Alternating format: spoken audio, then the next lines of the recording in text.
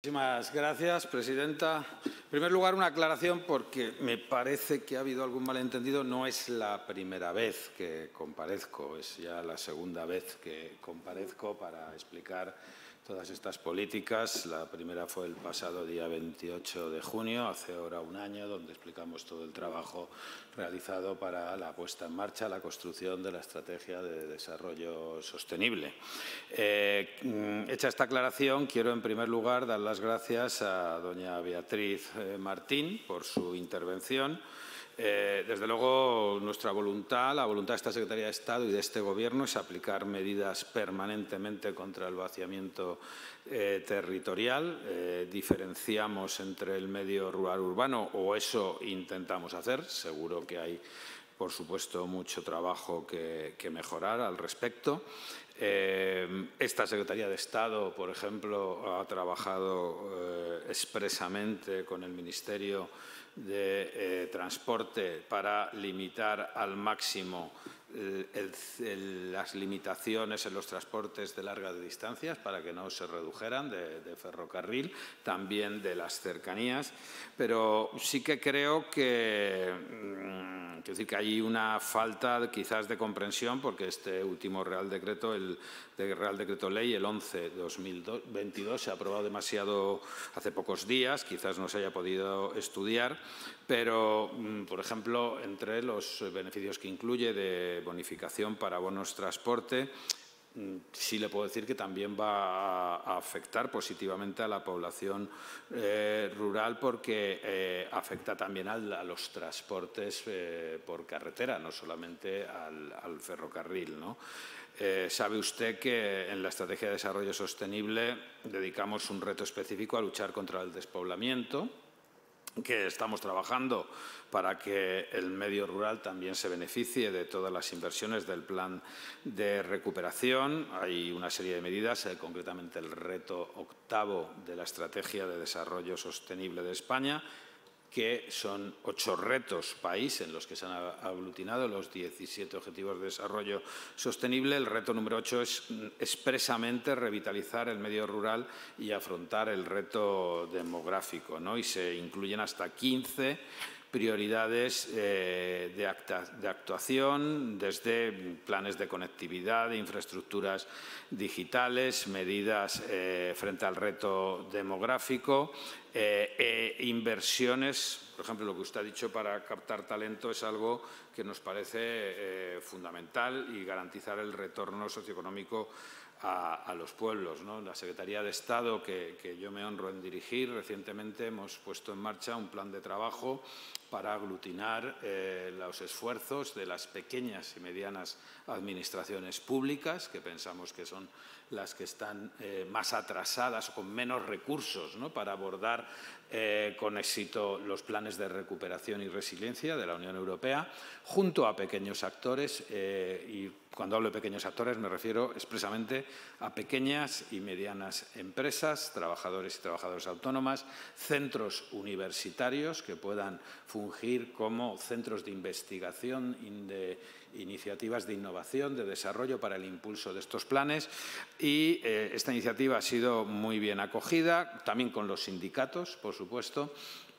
y nuestra tarea va a ser ponernos a disposición de esas pequeñas y medianas administraciones autonómicas y locales que no tienen capacidad por sí solas para armar, para presentar eh, proyectos para eh, cumplimentar la financiación prevista en los distintos programas europeos de los planes de resiliencia. Somos muy conscientes de esa tarea. Esa es una tarea que estamos haciendo, obviamente, en coordinación a través de la Comisión Delegada del Gobierno con otras administraciones públicas. Y yo ya eh, lo que quiero manifestarle es nuestra voluntad de que trasladen a todos aquellos municipios pequeños, medianos, eh, eh, la voluntad de esta Secretaría de Estado de brindarles ese apoyo, ese asesoramiento del envío de la información adecuada para sacar adelante estos proyectos. ¿no? Nos preocupa que los planes de recuperación y resiliencia no se conviertan al final en subvenciones para grandes grupos económicos, que son los que en muchas ocasiones son los únicos que tienen eh, las capacidades, los recursos humanos, técnicos, para cumplimentar esas, esas líneas de financiación y para hacer esos diseños que en muchos casos son diseños que no es fácil que hagan las administraciones públicas, sino que vienen de, a lo mejor, grandes consultoras, grandes empresas de asesoramiento que no están al alcance de medianos y pequeños ayuntamientos de municipios de nuestro país, especialmente en las zonas de, despoblación. Además, Estamos trabajando para que, en contacto con distintas eh, administraciones públicas y en los PERTES de los que ya esta Secretaría de Estado forma parte de la dirección, por ejemplo, los PERTES agroalimentarios, para ponerlos en marcha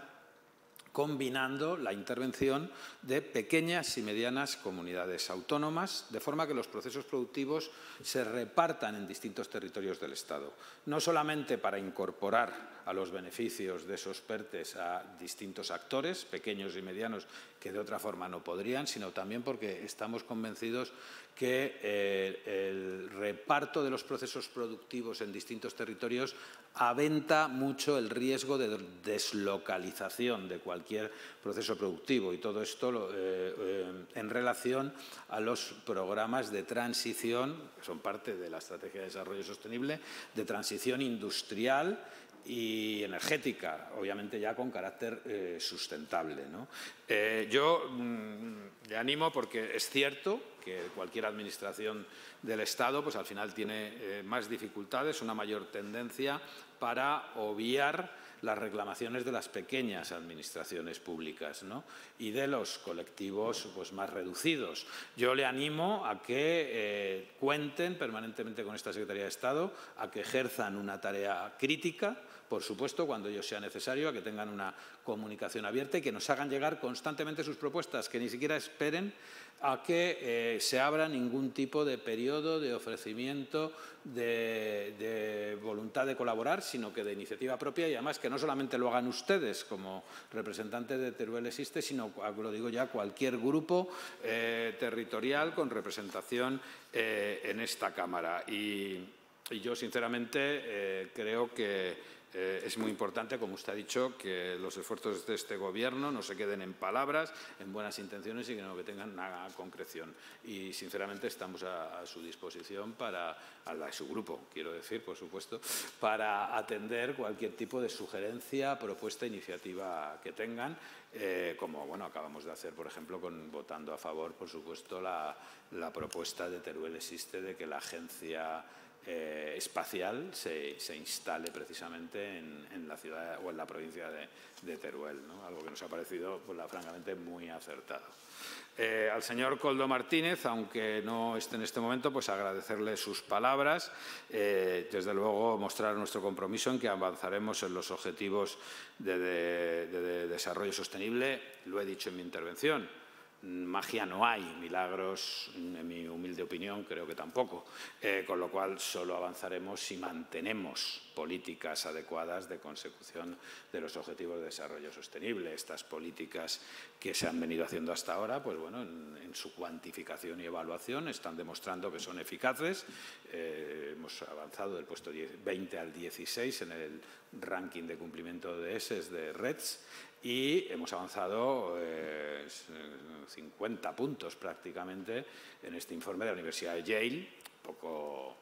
poco sospechosa de ser socialcomunista, la Universidad de Yale, que, donde claramente ha establecido que el avance desde el año 2020 de España en esta materia es realmente espectacular. ¿Qué es lo que ocurre? Hombre, que también veníamos de una posición lamentable, que de 160 países medidos estuviéramos en el puesto 120 de 160 según la Universidad de Yale. Pues hombre, significa que las anteriores administraciones públicas no han hecho nada de nada o muy poquito en esta materia, ¿no? Y eso es lo que vamos a intentar ahora, por supuesto, eh, corregir, ¿no? Eh, sí nos preocupa las consecuencias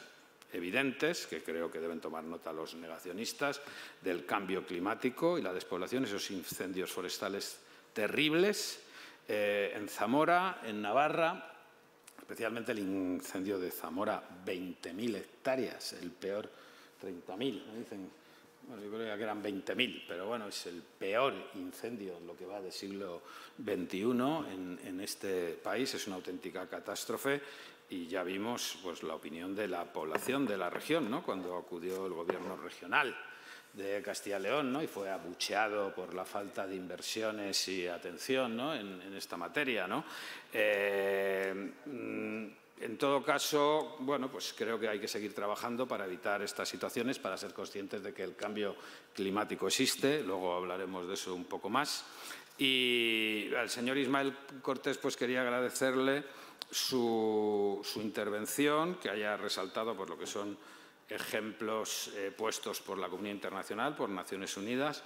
que ha puesto a España, el trabajo de España durante la pandemia de construcción del escudo social, como ejemplo de buenas prácticas en materia de políticas sociales. Y para no dejar a nadie atrás, creo que todos y todas los que estamos aquí nos sentimos plenamente orgullosos de que nuestro país se haya convertido en el baluarte de la defensa de los derechos de las personas en unos momentos tan duros como esta pandemia y, por supuesto, que continuaremos acelerando las políticas eh, palancas necesarias para cumplir estos objetivos.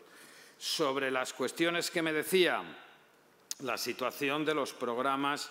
para erradicar eh, fenómenos de chabolismo, como la situación en la Cañada Real, o los asentamientos de trabajadores temporeros del campo, los asentamientos irregulares existentes en distintos lugares de nuestro país, fundamentalmente concentrados en la comunidad andaluza y en la comunidad de Murcia, pues lo cierto es que esta Secretaría de Estado en ambas cuestiones y ante la existencia de vergonzantes, avergonzantes, mejor dicho, requerimientos de las Naciones Unidas a nuestro país, las Naciones Unidas han tenido que reclamar a España la erradicación de esos asentamientos, tarea que, como todos y todas sabemos, es competencia de las comunidades autónomas, concretamente de la Comunidad Autónoma de Madrid respecto a la Cañada Real y de la Comunidad Autónoma Andaluza respecto a la situación en dos provincias, una situación muy lamentable, Huelva y, Almería, también eh, existe ese mismo problema en la Comunidad Autónoma de Murcia. Son las exigencias eh, que ha hecho Naciones Unidas sacándonos los colores. Y entonces, bueno, pues hemos puesto en marcha desde esta Secretaría de Estado distintos eh, proyectos, programas de, trabajo. El primero de ellos, respecto a la Cañada Real, con mm, la puesta en marcha de un grupo intergubernamental de colaboración con el pacto regional a través de la delegación, a través de la delegación del Gobierno en la Comunidad de Madrid, que es parte del plan regional, y hemos contado con la inestimable colaboración del área de eh, trabajo social del Ayuntamiento de Madrid. Lamento que no esté aquí Ciudadanos porque su trabajo ha sido de absoluta colaboración no como otras administraciones dirigidas por el Partido Popular que ni siquiera, que ni siquiera, que ni siquiera han atendido las llamadas de esta Secretaría de Estado. Fruto de eso, hemos aportado 5 millones de euros para esta Secretaría de Estado, para programas de realojo de familias en situación de especial vulnerabilidad, seleccionadas por los servicios sociales del Ayuntamiento de Madrid y del Ayuntamiento de Rivas Vacia Madrid. Y este año, eh, yo ya aprovecho para anunciar, este viernes vamos a firmar con la Junta de Andalucía y con los ayuntamientos de Lepe y Moguer, el primero gobernado por el Partido Popular y el segundo por el Partido Socialista, vamos a firmar un convenio, esta Secretaría de Estado, para aportar hasta otros 5 millones de euros para acabar con este problema de eh, los asentamientos eh, irregulares de trabajadores temporeros del campo. Parece mentira que siendo eh, el sector agrícola un sector tan fundamental para el desarrollo económico y social de nuestro país se haya permitido que vivieran en una situación absolutamente indigna tantos trabajadores y trabajadoras. Y nuevamente quiero aquí también agradecer la colaboración de la eh, consejera Rocío Ruiz, también de Ciudadanos, eh, por la colaboración que nos ha blindado para poner en marcha este protocolo. Y eh, también quiero agradecer el trabajo eficaz de los ayuntamientos, los dos, de Moguer y de Lepe que eh, se han puesto, francamente, bueno, pues en absoluta coordinación constructiva con esta Secretaría de Estado para llevar adelante este trabajo que venían además reclamando pues, también las organizaciones sociales, sindicales y que ha contado con el apoyo de las eh, organizaciones empresariales. Es decir, esta Secretaría de Estado pues, intenta constantemente eh, trabajar con todas las administraciones públicas que se dejan para solventar cualquier tipo de problemas con hasta ahora resultados bastante positivos. Al Grupo Parlamentario Vasco, eh, al Partido Nacionalista Vasco, le quería en primer lugar agradecer la colaboración del Partido Nacionalista Vasco y en general y quiero hacerlo extensible del Gobierno vasco en materia de cumplimiento de objetivos de desarrollo sostenible. O sea, la coordinación de esta Secretaría de Estado con el Gobierno vasco es total y absoluta. Eh, eh, estamos absolutamente de acuerdo con el problema que usted ha planteado de garantizar vías alternativas seguras de inmigrantes y refugiados eh, mm, conforme ha solicitado la OIM y el ACNUR. De hecho, ya sabe que este Gobierno puso en marcha oficinas de asilo en frontera, en las fronteras de Ceuta y Melilla, y, desde luego, la intención de esta Secretaría de Estado es que el trabajo de esas eh, oficinas en estos momentos se amplíe más allá de los colectivos que se están eh, atendiendo. Hasta la fecha, eh, quiero recordar que ciudadanos y ciudadanas sirios y palestinos y palestinas. Y, desde luego, vamos a trabajar porque se amplíen sus solicitudes también a posibles solicitantes de asilo, demandantes procedentes de países de, África. Mm, yo tomo buena nota de la problemática que usted ha relatado con solicitantes de asilo procedentes de Ucrania o de cualquier otro país, me imagino, que inician su itinerario de integración, de inserción sociolaboral en nuestro país. Entiendo que mientras que son solicitantes de asilo no admitidos a trámite y en el momento, me imagino que se refiere usted, que su solicitud es admitida a trámite, pues pasan a una nueva fase de ese proceso de, integración, de, de inserción y pueden ser trasladados efectivamente habiendo un compromiso por parte de la Administración territorial de eh, cumplimentar y dar el suficiente apoyo para cubrir ese itinerario, pues, eh, pues hombre, eh, parece que tiene toda la lógica del mundo que ese itinerario se pueda agotar en ese territorio. De hecho, el problema suele ser al revés, las dificultades en, los territorios para poder implementar todo el itinerario de, integración, con lo cual tomo buena nota de eso y desde luego vamos a hacer las tareas necesarias eh, en colaboración con el Ministerio competente, que esto es el Ministerio de Inclusión, con el que tenemos una excelente relación en todas estas materias para corregir esa situación en la medida de lo posible. Yo sobre las medidas incluidas en el Real Decreto 6, en el Real Decreto 11 del 2022 sobre medidas económicas y, los problemas que haya podido dar, llevar las negociaciones hasta última hora, yo también le solicitaría, igual que le he pedido a, la representante de Teruel Existe, que nos adelantemos, es decir, háganos llegar todas las medidas que ustedes consideran que es, importante para reforzar los escudos sociales en materia social, laboral, colectivos de atención con especiales vulnerabilidad, cuidados eh, y, eh, bueno, mejor tener esas medidas ya preparadas para que en la medida en que haya posibilidades de ir ampliando esos escudos sociales, pues las podamos, por supuesto, incorporar. Sobre el impacto de las medidas, de las medidas que hemos tomado en los ODS, al margen de esa medición que yo ya he indicado, realizada por organismos internacionales, eh, la medición que realiza el Gobierno de España es a través de los indicadores que al efecto procura el Instituto Nacional de Estadística y los 17 organismos equivalentes de los institutos de estadística o equivalentes de las comunidades autónomas. Es decir, eh, la Secretaría de Estado, el Ministerio de Derechos Sociales no se inventa ningún dato. Eso es lo que estamos procesando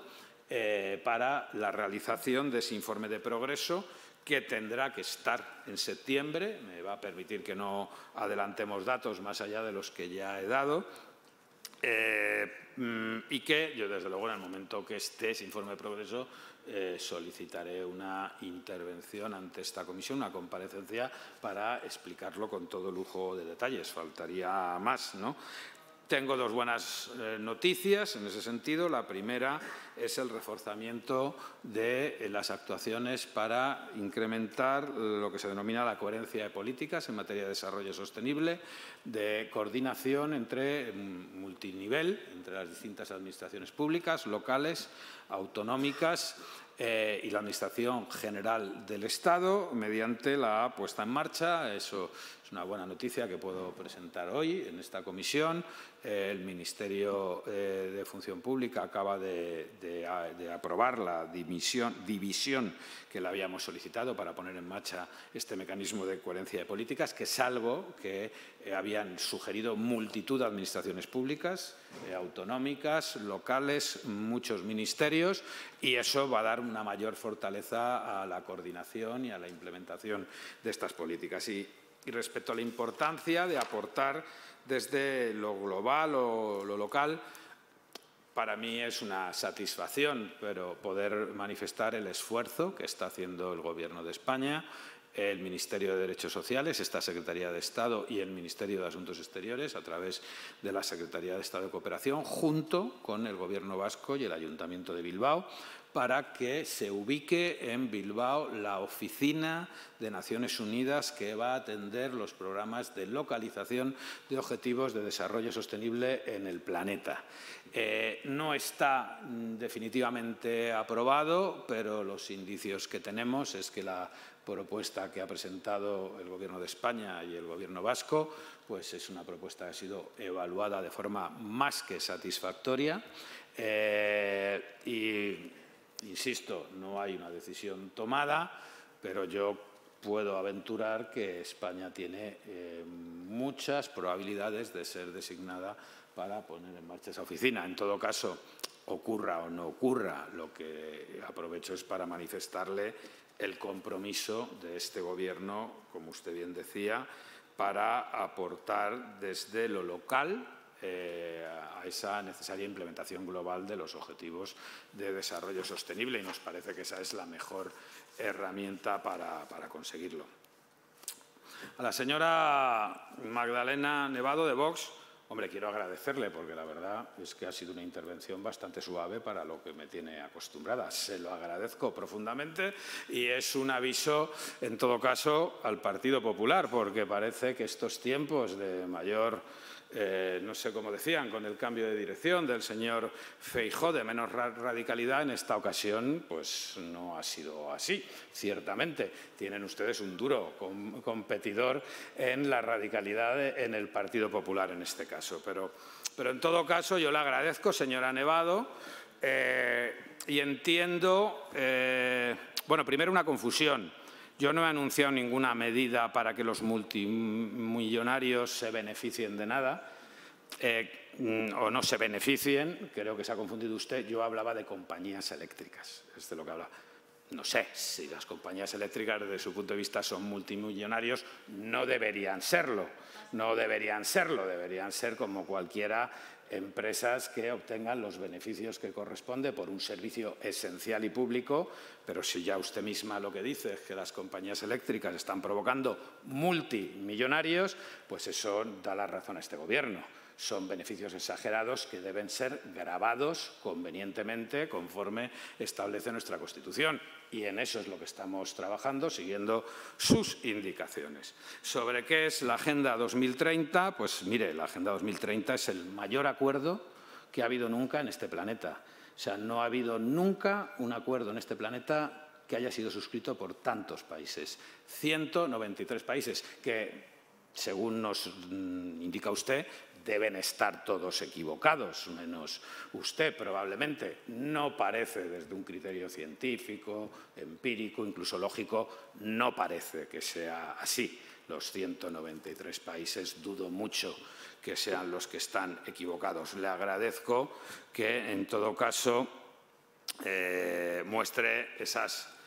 lo que usted entiende que son discrepancias. Yo entiendo que a ustedes les preocupen las discrepancias, porque la verdad lo de su partido sobre los objetivos de desarrollo sostenible, un día dicen una cosa y otro día dicen la contraria. Le voy a decir, mire, por ejemplo, respecto al cambio climático, Respecto al cambio climático, eh, su expresidente, el señor Abascal, en el año 19, 2019 declara que no es científico, eh, pero que cree que en mayor medida siempre ha existido, literalmente, aunque últimamente, por lo que dicen, evoluciona con mayor rapidez. Declaraciones del señor Abascal en el año 2019. Seis meses después, su partido reparte un argumentario a sus militantes negando el cambio climático antropogénico y decían que una cosa son los cambios que sufre el clima en todo momento, cuyo origen es natural y atmosférico, y otra que la teoría de la responsabilidad del cambio climático es el ser humano, que esto último es una tomadura de pelo, porque claro, como todo el mundo sabe, el ser humano pues, no realiza actividades industriales, ni emite CO2, ni, contamina. Eh, en diciembre del año 2019, coincidiendo con la cumbre del clima, el señor Abascal desmentía que Vox negase la evidencia del cambio climático, decía su presidente, pero arremetía contra lo que llamaba el nuevo totalitarismo de la región climática. Sí que tienen una confusión, francamente, es decir, no niegan el cambio climático, pero a la vez eh, arremeten contra el nuevo totalitarismo de la religión climática. Por cierto,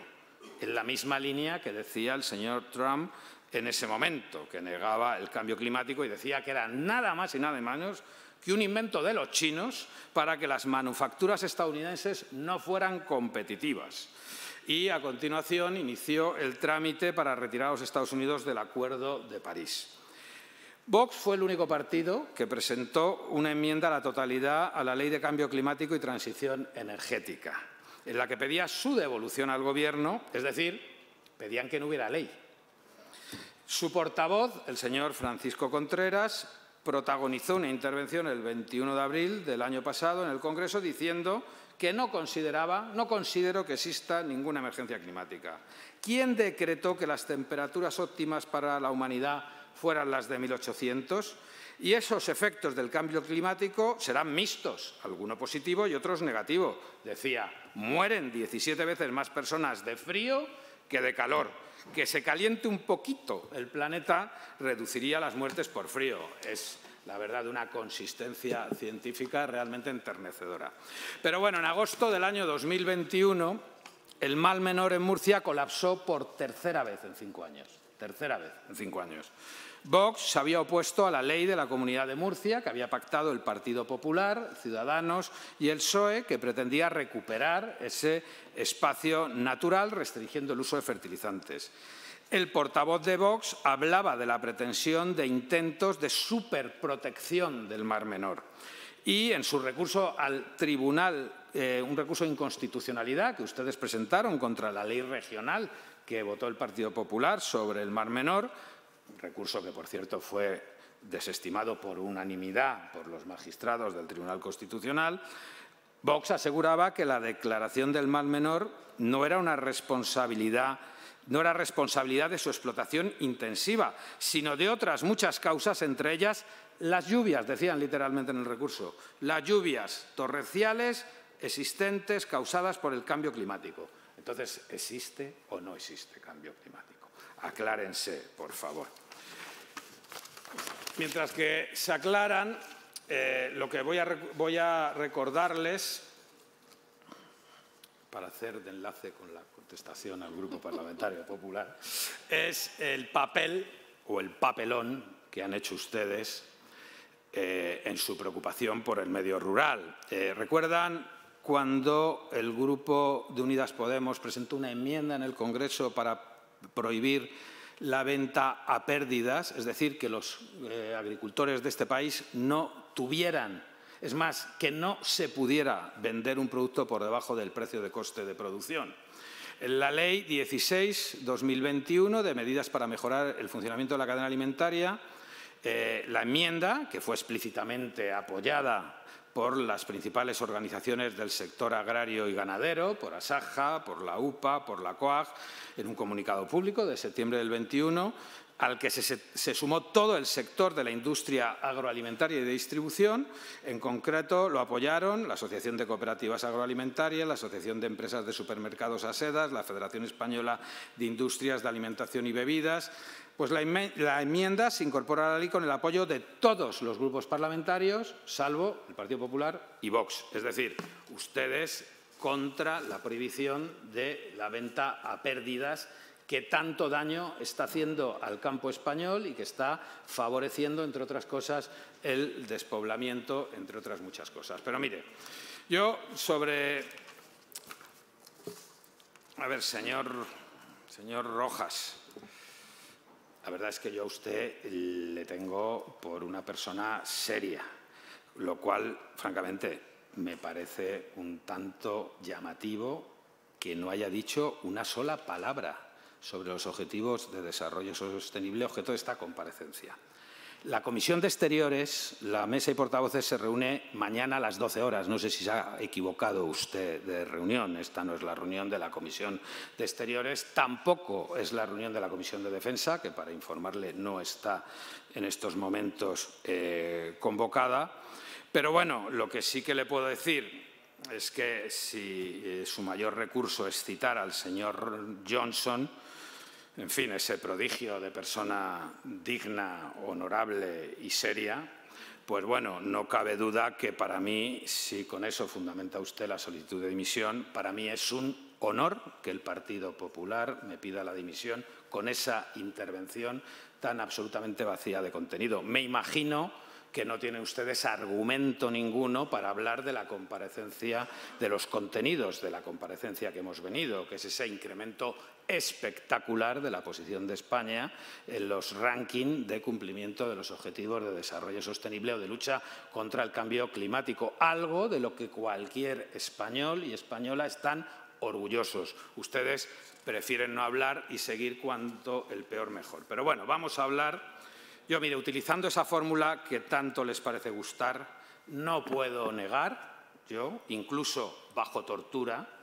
que esa manifestación ha existido y que yo he ejercido mi derecho constitucional a manifestarme acudiendo a ella. Me imagino que les suena la frase, es realmente lamentable que ustedes les escandalice más que cualquier persona participe en una manifestación en un país democrático, será que ustedes, claro, todavía lo del derecho de manifestación y las libertades democráticas todavía no acaban de acostumbrarse al pleno disfrute por, por los españoles, pero es lamentable que a ustedes les escandalice eso más que, por ejemplo, lo que hemos conocido de su anterior ministro de Interior mintiendo en sede parlamentaria, mintiendo ante los tribunales de justicia, utilizando su, policía patriótica y política para preparar pruebas falsas contra adversarios políticos, incluso adversarios internos de su propio partido, persiguiendo incluso a personas de su propio partido, usurpando, robando pruebas a la Administración eh, de Justicia y que, francamente, que les parezca ante eso, que no dicen ni una palabra vengan ustedes aquí ahora a criticar en el Senado, en el Senado mm, del que forma parte el máximo dirigente actual de su partido, el señor Núñez Fijó. La verdad es que me parece realmente sorprendente. Yo les solicitaría que, eh, francamente, se centraran en lo que hemos venido a hacer y, si usted quiere, en la próxima comparecencia ante la Comisión de Defensa hablamos de todas estas cuestiones que ustedes están planteando, pero por favor muestren un poco de empatía con este país, con los españoles y las españolas, con las personas que lo han estado pasando peor y que, gracias a los esfuerzos de este Gobierno, pues están saliendo tan dignamente de esta crisis. Muchas bueno, y al Partido Socialista, perdón, a la señora Noemí Villagrasa, gracias por su intervención. Eh, le agradezco especialmente que destaque la importancia de lo que ha denominado como el nuevo contrato social, eh, ese pacto entre generaciones, climático y medioambiental. Solamente así conseguiremos avanzar. Creo que ha acertado usted al plantear esto sobre la mesa porque es evidente que no es suficiente las medidas que pueda tomar ningún país para alcanzar los ODS, para combatir el cambio climático, para combatir la falta de paz, el riesgo de guerras, de catástrofes. Es absolutamente imprescindible que haya una comunidad una coordinación de toda la comunidad internacional. Es absolutamente imprescindible sustituir la unilateralidad y unipolaridad por la multilateralidad, por la cooperación entre los pueblos y, eh, francamente, con el apoyo que su grupo parlamentario viene dándonos, pues podremos seguir avanzando en alcanzar estos objetivos y en coordinar de la forma más eficaz toda esa actividad multidisciplinar del Gobierno para conseguir los objetivos en esos ocho años que nos queda, que es muy poco tiempo. Muchas gracias. Ante esta comisión mixta para informar del impacto de las consecuencias económicas, sociales y medioambientales de la pandemia y la posterior guerra en Ucrania en el logro de los objetivos de desarrollo sostenible de la Agenda 2030. Quiero empezar, en un día como hoy, mostrando mi pesar por la tragedia ocurrida en la frontera sur el pasado día 24 de junio, en la valla fronteriza de la ciudad de Melilla, colindante con Nador, una catástrofe humanitaria, una masacre de personas, en su mayoría migrantes, que las estimaciones más conservadoras sitúan en 27 muertos y algunas fuentes de ONGs hablan de probablemente hasta 40 personas fallecidas. En nombre del Ministerio de Derechos Sociales y Agenda 2030 del Gobierno de España, expreso nuestra solidaridad con las víctimas fallecidas y heridas y traslado nuestro más hondo pesar a sus familias y allegados. Esta situación nunca debería haber ocurrido. La Unión Europea y los países más desarrollados deben ser conscientes de que en un mundo globalizado no hay valla ni frontera que detenga la esperanza de tener una vida digna. Solamente alcanzando los objetivos de desarrollo sostenible lo más pronto y plenamente posible solamente acabando con la pobreza, la desigualdad y garantizando un desarrollo económico, social y medioambiental sostenible y digno en todos los países del mundo, evitaremos los intensos y numerosos flujos migratorios que huyen de la negación de los derechos humanos fundamentales que todo ser humano tiene por el mero hecho de haber nacido. Señorías, nos encontramos a menos de ocho años de cumplirse el plazo acordado por la comunidad internacional para hacer realidad los 17 Objetivos de Desarrollo Sostenible de la Agenda 2030. Ocho años para preservar y proteger los bienes públicos globales, promover un desarrollo inclusivo y sostenible y garantizar la seguridad humana. Ocho años para acelerar este proceso colectivo de transición hacia la sostenibilidad que permita cumplir con la aspiración de que todas las personas, independientemente de su condición social, sexo, origen nacional u orientación sexual, vivan una vida libre de violencia y amenazas, disfrutando plenamente de todos los derechos humanos. Estamos también a pocos días de que se inicie en la sede de Naciones Unidas en Nueva York el Foro Político de Alto Nivel para el Desarrollo Sostenible. Constituye el foro global más importante para evaluar el progreso internacional en materia de Agenda 2030 y un año más va a poner el foco en la necesidad de promover una reconstrucción social, económica y medioambiental tras el impacto de la pandemia global para permitir avanzar en la plena implementación de la Agenda 2030. Se centrará además en la revisión en profundidad del ODS 4, Educación, el ODS 5, Igualdad de Género, el ODS 14, Vida Submarina, el ODS 15, Ecosistemas Terrestres y el ODS 17 sobre alianzas y financiación de las políticas para alcanzar los objetivos de desarrollo sostenible. Nadie hubiera imaginado hace siete años que, este, en este foro se desarrollaría en medio de uno de los periodos más difíciles de la historia de la humanidad. Así lo refleja el avance del informe del secretario general de las Naciones Unidas sobre el progreso hacia el cumplimiento de los Objetivos de Desarrollo Sostenible, un informe que constata el enorme impacto de la crisis del COVID-19 sobre el desarrollo sostenible, deteniendo e incluso revirtiendo décadas de progreso en áreas como la reducción de la pobreza extrema, la desigualdad o la inseguridad alimentaria. Señorías, más de 5 millones de personas han muerto como consecuencia directa de la COVID-19, pero este número podría elevarse hasta 15 millones conforme a las estimaciones que ha hecho Naciones Unidas. Los sistemas de salud de todos los países se han visto desbordados y, como consecuencia, muchos servicios de salud esenciales se han visto interrumpidos, provocando importantes amenazas para la salud y socavando años de avances en la lucha contra enfermedades mortales y enfermedades curables. Según estimaciones de las Naciones Unidas, entre 75 y 95 millones de personas vivirán en la pobreza extrema en el año 2022, empeorando las previsiones y niveles previos a la pandemia. Miles de millones de niños y niñas en el mundo han enfrentado dificultades para asistir a la escuela. Como consecuencia, su aprendizaje se ha visto enormemente afectado, condicionando sus posibilidades de desarrollar una vida plena de dignidad en la edad adulta. Las mujeres también se han visto afectadas de manera desproporcionada por las consecuencias socioeconómicas de la pandemia, perdiendo sus empleos y enfrentando mayores cargas de trabajo no remunerado en el ámbito de los cuidados y el trabajo doméstico y quedando más sobreexpuestas a la violencia de género. Si bien en el año 2021 la economía mundial comenzó a dar signos de recuperación, esta recuperación no se ha mantenido estable. Ello ha sido a consecuencia de una conjunción de factores como son la aparición de nuevas variantes de la COVID-19,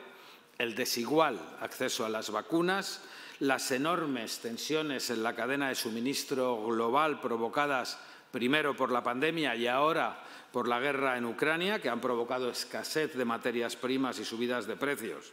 El fuerte endeudamiento que enfrentan los países en desarrollo condiciona gravemente su capacidad para hacer frente a los impactos más directos causados por la guerra de Ucrania, produciendo una tormenta perfecta cuyo impacto ya se está evidenciando en forma de un drástico aumento de la inseguridad alimentaria y riesgo de hambrunas en muchos países. El mundo también está presenciando la mayor cantidad de conflictos violentos desde la Segunda Guerra Mundial. Según estimaciones de las Naciones Unidas, casi 2.000 millones de personas vivían a finales del año 2020 en países afectados por conflictos o catástrofes climáticas, provocando como consecuencia que en el año 2021 se alcanzara el registro más alto de personas refugiadas y desplazadas forzosamente de sus hogares, en torno a 85 millones de personas, según las cifras de Naciones Unidas. Unas cifras de desplazamiento que se han visto agravadas en 2022 a causa de la invasión rusa de Ucrania. Solamente hasta abril del 22 más de 5 millones de personas habían huido de Ucrania, en su mayoría mujeres y niños, y otros 7 millones se encontraban desplazados dentro del país. Un drama humanitario que nos es cercano, que nos reaviva la situación creada por la inacabable guerra de Siria, con más de cinco millones y medio de refugiados, según también las Naciones Unidas. Estas situaciones nos instan a repensar nuestra política de protección internacional y migratoria para evitar muertes innecesarias como las ocurridas este viernes en la frontera de Melilla, un suceso que sin duda ha constituido una clara vulneración de derechos humanos. Sin embargo, el impacto de la guerra en Ucrania no se reduce al drama que supone el desplazamiento forzado de millones de personas. El conflicto ha disparado el precio de los alimentos, el combustible, los fertilizantes, ha interrumpido las cadenas de suministro y el comercio mundial ya ha causado serios problemas en los mercados financieros. En un contexto de interdependencia como el actual, todos los países nos estamos viendo afectados en mayor o menor medida por esta situación, pero sin duda resulta especialmente preocupante los efectos en los países en desarrollo. Por eso los retos que enfrentamos en el corto y medio plazo no se quedan solamente ahí. Otro aspecto que amerita toda nuestra atención y esfuerzo son los impactos del cambio climático que se están sintiendo cada vez con más intensidad en todo el mundo. Las emisiones globales de CO2 relacionadas con la energía aumentaron en 2021 un 6% como consecuencia de la recuperación de la actividad económica realizada tras el fin de, eh, o durante, tras el fin de la paralización durante la pandemia. De no intensificarse los compromisos nacionales, se, se estima que las emisiones globales aumentarán casi un 14% durante la década actual, lo que podría conducir a una catástrofe climática. Hasta ante este panorama internacional, el informe del secretario general de las Naciones Unidas insta a los gobiernos a ofrecer una respuesta integral a estas crisis globales interrelacionadas desde un renovado compromiso con el multilateralismo, la solidaridad la cooperación internacional. Se trata, en definitiva, de promover un nuevo contrato social mundial para reconstruir la confianza basado en principios y compromisos de la Agenda 2030. Eh, un compromiso que contemple garantías contra las catástrofes medioambientales, contra la guerra y la producción y la tenencia de armamento, especialmente nuclear, contra las lesiones de las libertades fundamentales y de los derechos sociales, contra el hambre y las enfermedades no tratadas, aunque curables, contra la explotación ilimitada del trabajo y las causas de las migraciones masivas, y por ello debe consagrar como bienes fundamentales en cuanto a vitales el agua potable, el aire, el clima, los glaciares o el patrimonio forestal. Y, por lo tanto, deberían ser bienes sustraídos al mercado y dotados con unas garantías de respeto que, respeten su, que aseguren su intangibilidad. Todo lo que amenace la existencia del planeta y la preservación de los ecosistemas debería ser considerado como ilícito. Señorías, quiero descender ahora al impacto en España de esta grave situación internacional. Esta Secretaría de Estado se encuentra actualmente trabajando en el informe de progreso 2022 correspondiente al primer año de ejecución de la Estrategia de Desarrollo Sostenible 2030. Presentaremos este informe el próximo mes de septiembre, mes en el que se va a celebrar el aniversario de la adopción de la resolución de la Asamblea General de las Naciones Unidas, a través de la cual 193 países se comprometieron con esta agenda internacional. Un informe que nos ofrecerá una fotografía completa y actualizada de los avances experimentados por nuestro país en la realización de los 17 Objetivos de Desarrollo Sostenible, partiendo de los datos más recientes disponibles y rindiendo cuentas de las actuaciones comprometidas en la Estrategia Española de Desarrollo Sostenible y, de actuaciones que han sido desplegadas a lo largo de este primer año por las distintas administraciones públicas. Tendré el honor de presentarlo detalladamente ante esta comisión mixta una vez haya sido aprobado por el Consejo de Ministros. A la espera de ello, permítame, señorías, que traslade la buena noticia que supone que nuestro país haya avanzado en un solo año cuatro puestos en el ranking mundial de progreso de los Objetivos de Desarrollo Sostenible que elabora la Red de Soluciones para el Desarrollo Sostenible promovida por las Naciones Unidas, un ranking elaborado por una amplia red de expertas, de expertos académicos de universidades de reconocido prestigio. Este informe,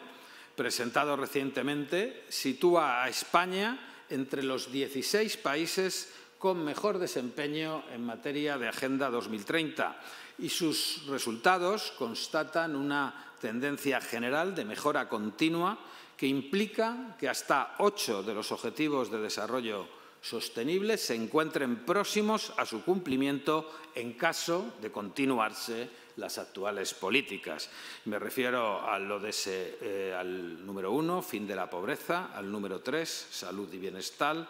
al número cuatro, educación, al número cinco, igualdad de género, al número seis, agua y saneamiento, al número siete, energía asequible no contaminante, al número 11 sobre ciudades y comunidades sostenibles y al 16 sobre paz, justicia e instituciones sólidas. Y en otros 15 eh, objetivos de desarrollo sostenible se aprecia una tendencia de mejora sobre los datos de años anteriores. Eh, además, nuestro país obtiene muy buena nota en el indicador sobre esfuerzos y compromisos de los gobiernos nacionales en aplicación de los ODS. Estamos entre los 15 primeros países y ello es resultado de la puesta en marcha durante la actual legislatura de estructuras y estrategias específicas para incorporar de manera transversal la Agenda 2030 en las políticas públicas de este Gobierno. Un progreso que también evidencia el informe de recomendaciones a España que elabora la Comisión Europea en el marco del semestre europeo y que por primera vez incluye un análisis sobre la evolución de los ODS en cada Estado miembro de la Unión Europea. Este informe de la Comisión evidencia una clara y positiva mejora de España en un importante número de indicadores relacionados con la equidad, el combate a la pobreza, la igualdad de género, el trabajo decente o el combate a la desigualdad. Y también en materia de sostenibilidad medioambiental y con estabilidad macroeconómica. Son logros a los que sin duda han contribuido las medidas de escudo social puestas en marcha por las administraciones públicas. Medidas que nos deben servir de referencia para continuar trabajando sobre los retos pendientes que seguimos enfrentando, y a los que se suman ahora las eh, derivadas de un contexto a nivel internacional y europeo de extrema inestabilidad que solo puede ser respondido con más compromiso con la Agenda 2030. Señorías, este Gobierno de coalición ha sido ejemplar en hacer de la Agenda 2030 su hoja de ruta no solo para acelerar las transformaciones estructurales que nuestro país necesita poner en marcha para hacer frente a los retos de largo plazo que enfrentamos. También nos hemos valido de la Agenda 2030 para articular la respuesta en forma de escudo social frente al impacto de la crisis sanitaria, económica y social provocada por el COVID-19 y ahora frente a las consecuencias de la guerra de Ucrania. Y así nos lo demandaban sus señorías en el dictamen de la ponencia de estudio de la definición de la Estrategia de Desarrollo Sostenible aprobada por esta misma comisión en abril del año pasado. Y hemos cumplido obedeciendo este mandato del soberano popular de las Cortes Generales. Permítame que haga, referencia literal a uno de los contenidos de ese mandato. Señalaban sus señorías que el Gobierno junto a las comunidades autónomas, las entidades locales y con la colaboración imprescindible de la sociedad civil y otros actores económicos y sociales, ha conformado un escudo social sin precedentes para proteger a la población de una crisis que ha afectado especialmente a las personas en situación de mayor vulnerabilidad. En su labor, nuestro país, decían, ha demostrado que, a diferencia de lo sucedido en 2008, es posible efectuar una salida social donde los objetivos de desarrollo sostenible son el horizonte de reconstrucción y de transformación para un futuro a la altura de todo ese conjunto de profesionales esenciales que nos han protegido en los momentos más difíciles. Y partiendo de ese reconocimiento, señalaban ustedes que, aunque imperfecta, la Agenda 2030 sigue siendo una excelente guía para impulsar las transformaciones sociales necesarias para la recuperación y reconstrucción de una España que no deje a nadie atrás. Señorías, este Gobierno de coalición coincide con esta visión y es por ello que la Agenda 2030 ha sido el marco de referencia para las medidas adoptadas desde los primeros momentos de la pandemia. Y lo es también ahora para mitigar el impacto de la crisis de Ucrania. Así lo demuestran las medidas contempladas en el Plan Nacional de Respuesta a las Consecuencias Económicas y Sociales de la Guerra de Ucrania, impulsado en primera instancia a través del Real Decreto Ley 6 2022, aprobado por el Consejo de Ministros el pasado mes de marzo y complementado ahora con las medidas aprobadas este mismo sábado a través del Real Decreto Ley 11-2022, que ha supuesto un gasto adicional de protección social de 9.000 millones de euros. Es un paquete de medidas destinadas a proteger a las familias,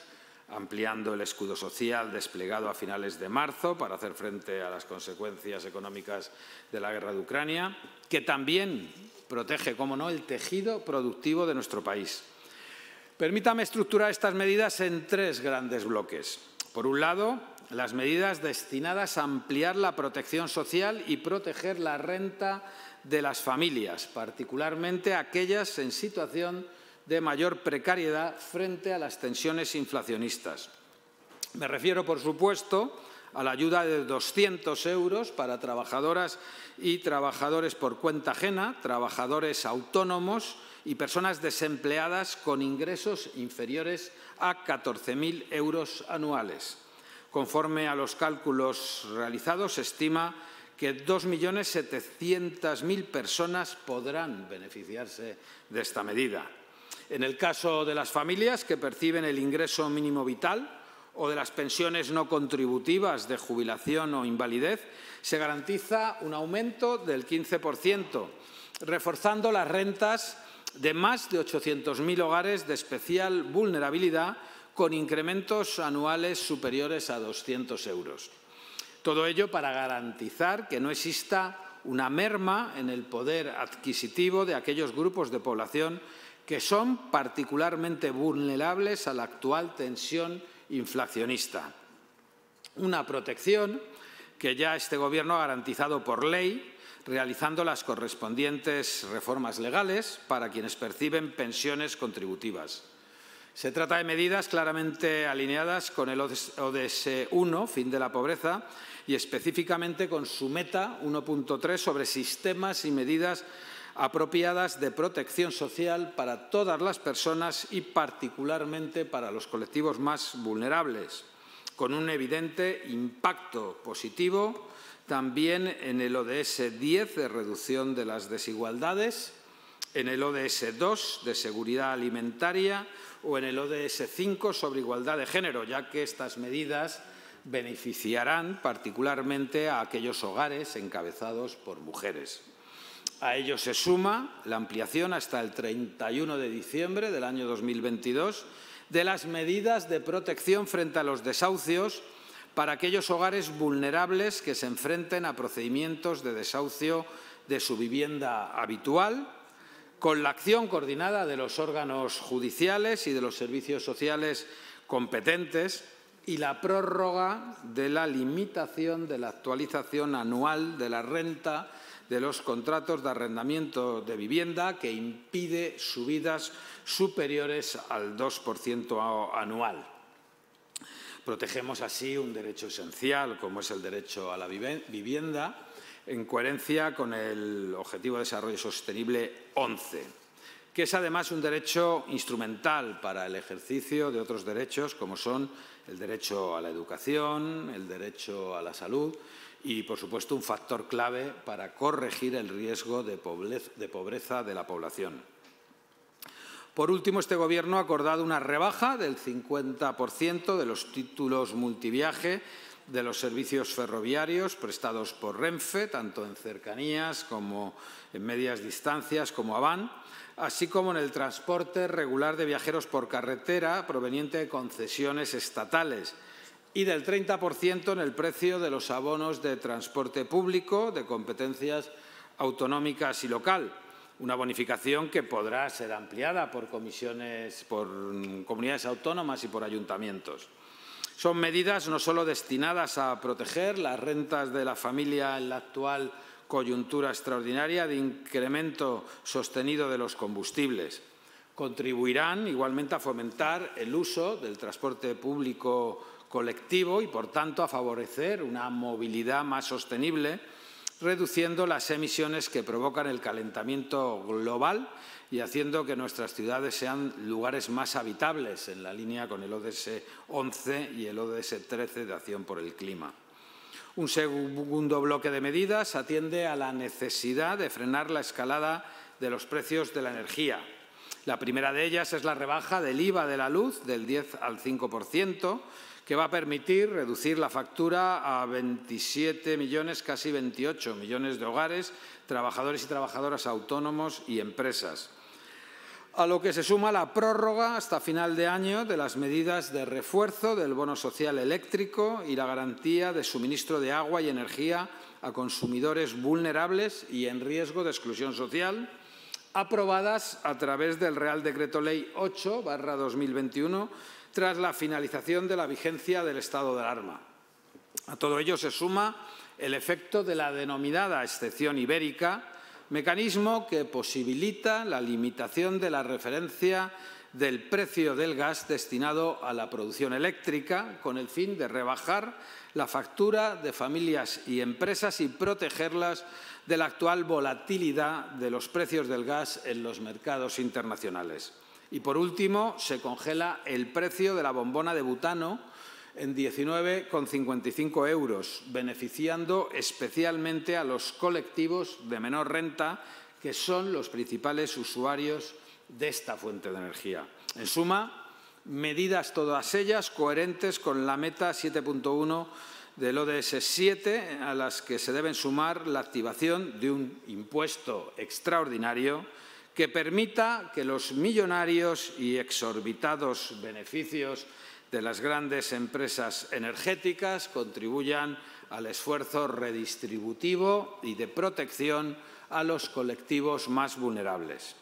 Y un último bloque de actuaciones enmarca en el ODS 8, trabajo decente y crecimiento inclusivo, y en el ODS 9, de industria e innovación en infraestructuras. Me refiero a la extensión de la imposibilidad de que el aumento de los costes energéticos constituyan causa objetiva de despido para aquellas empresas beneficiarias de las ayudas directas del Plan Nacional de Respuesta a las consecuencias económicas y sociales de la guerra de Ucrania.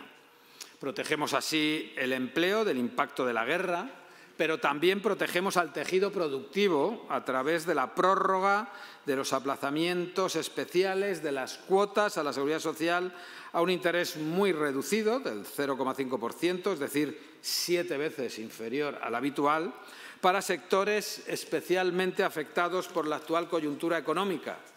Igualmente, con el fin de favorecer la liquidez en las empresas, el Real Decreto Ley aprobado en marzo impulsó una nueva línea de avales SICO por valor de 10.000 millones de euros y extendió el plazo de vencimiento y de carencia para los sectores más afectados por el aumento temporal del coste de la energía y de los combustibles. Por último, el sector agrario, pesquero, del transporte y la industria electrointensiva y gasintensiva también son sectores objeto de importantes ayudas dentro de este plan. En definitiva, una inversión total de cerca de 15.000 millones de euros que de no ponerse en marcha supondría una inflación de tres puntos y medios superior a la habitual. Ahora bien, las actuaciones de este Gobierno para hacer realidad la Agenda 2030 no se limitan a las medidas puestas en marcha para hacer frente al impacto de las crisis globales sucesivas, solapadas, que este Gobierno de coalición ha enfrentado desde el inicio de su andadura. Seguimos trabajando para promover reformas estructurales que nos acerquen al cumplimiento de los 17 Objetivos de Desarrollo Sostenible de Naciones Unidas, desde el impulso que ha supuesto la aprobación de la Estrategia de Desarrollo Sostenible de España y el Plan de Recuperación, Transformación y Resiliencia.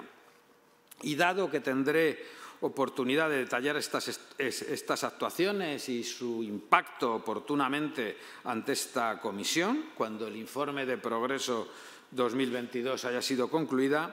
permítanme únicamente que haga referencia a tres grandes ámbitos que ilustran claramente estos avances. El primero es la evolución positiva del mercado laboral que nos acerca al cumplimiento del ODS 8 sobre trabajo decente. Como ustedes saben, el trabajo registrado se ha reducido en más de un millón de personas, exactamente un millón ochenta y cinco mil ocho personas en los últimos 15 meses, la mayor caída de la serie histórica, situándose por debajo de tres millones de personas por primera vez desde hace 14 años. Una evolución tremendamente positiva que también ha alcanzado a las mujeres, situándose en su nivel más bajo desde el año 2008 y también ha alcanzado a las personas jóvenes, cuya tasa de paro se ha situado por debajo de las 200.000 personas, la cifra más baja de nuestra historia. Además, han batido récord en las cotizaciones a la Seguridad Social, situándose por encima de 20.200.000 personas, la cifra más alta en la historia de España. La reforma laboral está teniendo una efectividad extraordinaria. En los cinco primeros meses de este año se han firmado 1.600.000 contratos de trabajo indefinidos más que en el mismo periodo del año 2019 y 2.700.000 millones de contratos temporales menos. Es decir, más empleo con mejores contratos, reduciéndose la abusiva rotación laboral y, por tanto, la precariedad. Unas medidas complementadas por este Gobierno con una estrategia de política de rentas expansiva que apuesta por incrementar los salarios y las pensiones para recuperar y mantener poder adquisitivo frente a las políticas del pasado basadas en la devaluación de las rentas del trabajo.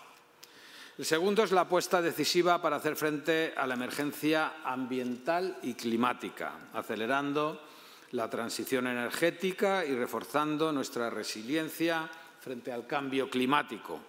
Este Gobierno ha trabajado intensamente para desplegar un amplio marco normativo y estratégico que acelere la acción climática,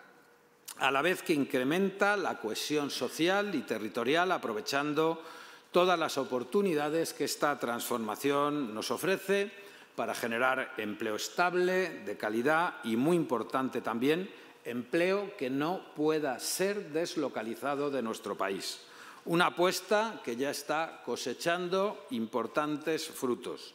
Conforme a los últimos datos disponibles, las energías renovables ya representan en nuestro país más del 51% de la producción eléctrica, contribuyendo no solo a frenar el cambio climático, sino también a reducir nuestra dependencia energética exterior en un momento en el que la guerra de Ucrania nos ha mostrado la importancia de alcanzar la plena soberanía energética. Todo ello nos ha permitido avanzar 47 puestos, 47, en el ranking de desempeño medioambiental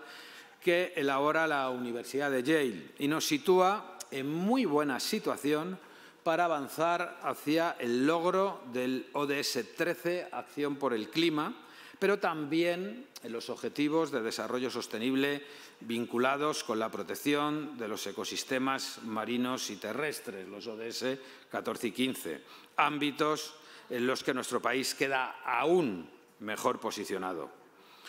Por último, este Gobierno sigue trabajando intensamente en el fortalecimiento del Estado del Bienestar, ampliando y garantizando nuevos derechos sociales